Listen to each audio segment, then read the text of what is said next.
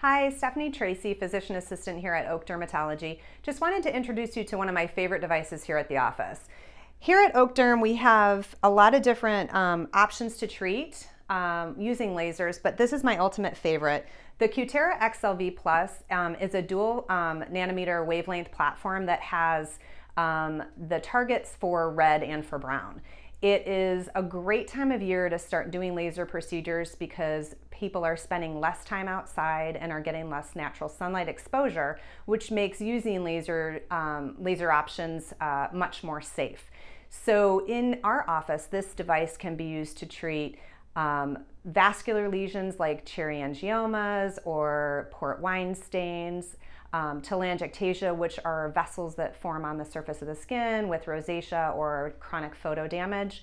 Um, and within one to three treatments, patients can see a dramatic improvement in their, um, in their appearance. Um, it's great for brown as well, which means it also can be working uh, for laser hair removal. So there's a non-ablative handpiece component to it that has um, the ability to improve fine lines and, uh, and texture of the skin, as well as bulk heating the dermis, which gives the skin this kind of red carpet ready glow. Um, that can be done at any time and can be done as a series, which really kind of um, can be paired quite nicely with chemical peels as well. So if you um, have some skin concerns that you'd like addressed, um, laser has been something that you've thought about doing, um, this might be one of the lasers that we would consider using for you.